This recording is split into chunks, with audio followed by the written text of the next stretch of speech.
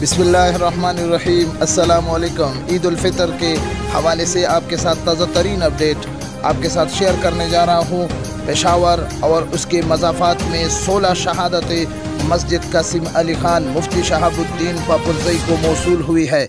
अभी शहादतों की छानबीन जारी है, जबकि दूसरी तरफ़ पंजाब और सिंध के जोनल रुत हिलाल कमेटी ने चाँद नज़र न आने की ऐलान कर दिया है, जबकि पेशावर में इस वक्त मस्जिद कासिम अली खान में सवाबी बुनेर और पाकिस्तान की दूसरे खैबर पख्तूनख्वा के दूसरे इलाकों से कई शहादतें मौसू हुई है।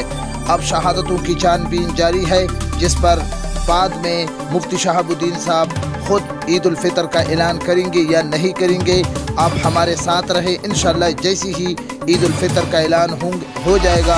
हम आपको सबसे पहले इन्फॉर्मेशन देंगे। चैनल में नए हो तो लाजमी तौर पर चैनल को सब्सक्राइब करें और साथ बेल आइकन प्रेस करें। Thank you for